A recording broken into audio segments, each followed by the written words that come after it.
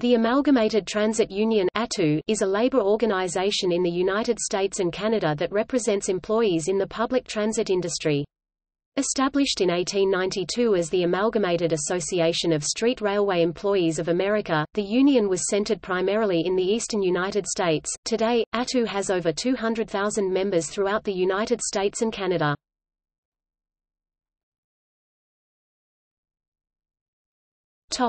History The union was founded in 1892 as the Amalgamated Association of Street Railway Employees of America. The union has its origins in a meeting of the American Federation of Labor in 1891 at which President Samuel Gompers was asked to invite the local street railway associations to form an international union. Gompers sent a letter to the local street railway unions in April 1892, and based on the positive response arranged for a convention of street railway workers. The convention began on 12 September 1892 in Indianapolis, Indiana, attended by 50 delegates from 22 locals.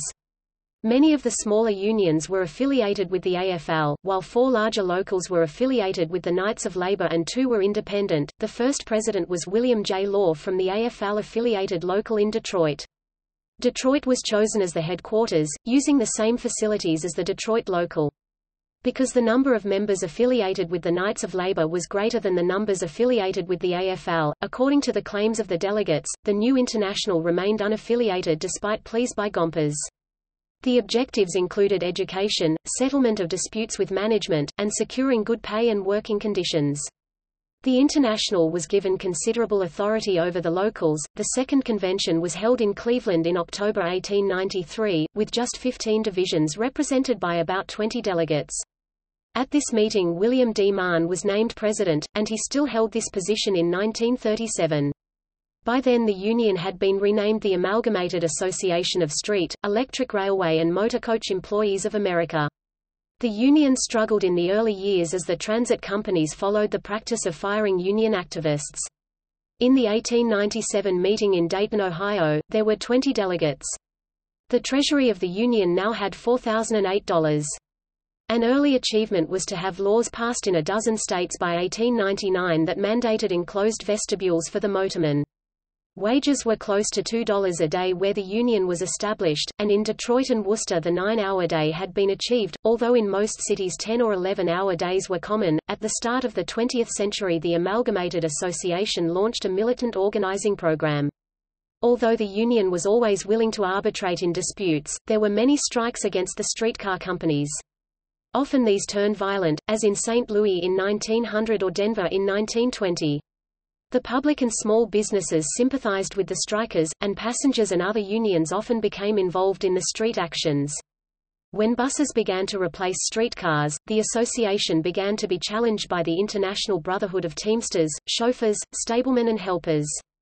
It was agreed that the Amalgamated Association would have jurisdiction over buses operated by street railway companies, while the Teamsters would have jurisdiction over independent bus lines and over road transportation of goods.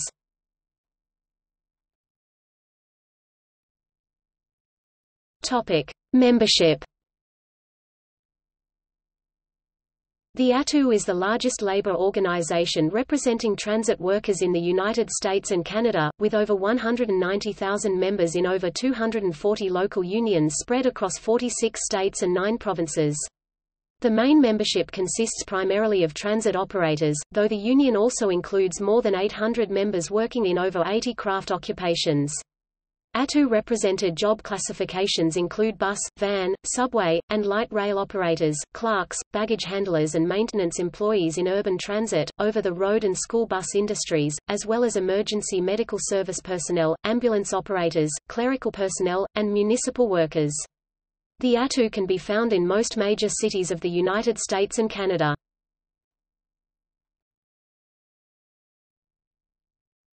Topic. Structure The Union is guided by a triennial convention at which delegates chosen by locals meet to debate and direct the future of the Union. The international officers consist of the International President, the International Executive Vice President, the International Secretary-Treasurer, and 18 International Vice Presidents. The International Vice Presidents serve on the Union's General Executive Board. Topic: International Officers and General Executive Board. The office of International President is currently held by Lawrence J. Hanley, who was first elected to the position in September 2010. The International Secretary-Treasurer is Oscar Owens, a position he has held since January 2001. In August 2013, Javier M. Perez Jr., was unanimously elected to the position of International Executive Vice President. The Union's General Executive Board consists of 18 international vice presidents, elected positions voted on by the Union's delegates at each triennial convention. Additionally, the Union utilizes four international representatives, appointed by the international president.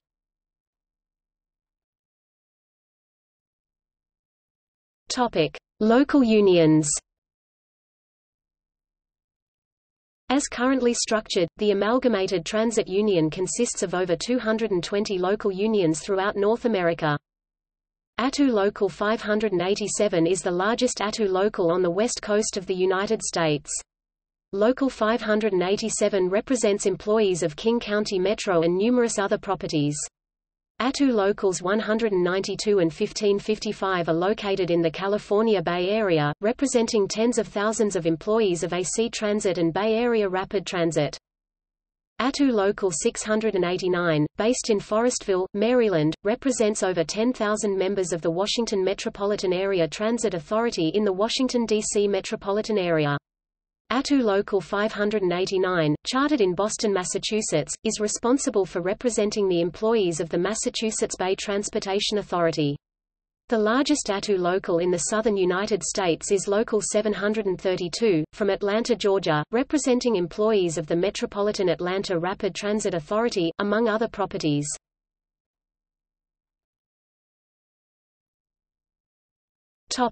ATU Canada Established in 1982, the Amalgamated Transit Union Canada, formerly the ATU Canadian Council, represents workers in various Canadian transit systems and other industries. It is the highest authority and voice in Canada for the ATU on all issues of Canadian interest, including legislation, political, educational, health and safety, cultural and social welfare matters. Canada is home to over 30 ATU locals, located in nine different provinces and territories. The largest ATU Canada local is Local 113, located in Toronto, Ontario, representing over 10,000 members of the Toronto Transit Commission.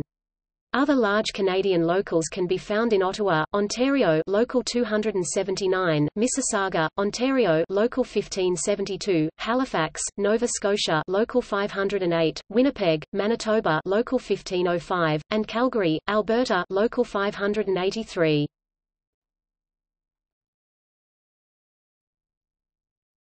Topic: Political and legislative activities. In addition to membership servicing, the ATU is actively engaged in several progressive political causes. Beyond promoting increased transit funding energy independence and the maintenance of a strong, publicly funded transit system, the ATU advocates for a number of social justice topics. In 2008, the ATU endorsed Hillary Clinton in her unsuccessful bid for the Democratic presidential nomination. After she conceded defeat, the ATU endorsed Barack Obama in his bid to become president. In November 2010, the ATU, the Transportation Equity Network (TEN), the Transport Workers Union (TWU), other labor unions, and transit advocates convened a boot camp in Chicago, Illinois. Activists from varying backgrounds discussed the issues facing both union members and transit riders, and identified opportunities to work together in the future to address the nation's transit crisis. The ATU and Good Jobs First convened a second boot camp for transit advocates in Silver Spring, Maryland, in March 2011. In 2011, the ATU became one of a handful of North American labor unions to publicly oppose construction of the Keystone XL tar sands pipeline. The ATU was named the most Valuable National Union in the Nation magazine's Progressive Honor Roll of 2012 for its support of the Occupy movement, the National Day of Action for Public Transportation, and other social justice issues. Beginning in 2013, the ATU became a vocal supporter of the Robin Hood tax campaign.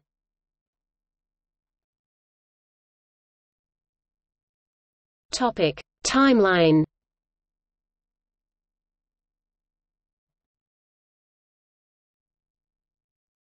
Topic: In popular culture. The ATU and President Emeritus Warren George are mentioned in the song, Workin' for the MTA, on Justin Townes Earle's 2010 album, Harlem River Blues.